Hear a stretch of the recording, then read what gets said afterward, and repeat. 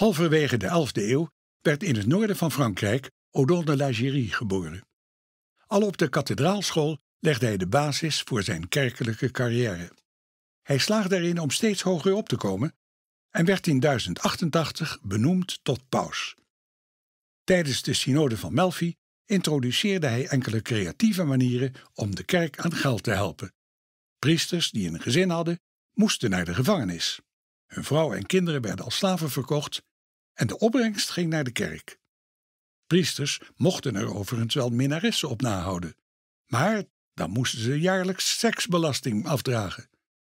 Op 27 november 1095 riep de paus op tot de eerste kruistocht.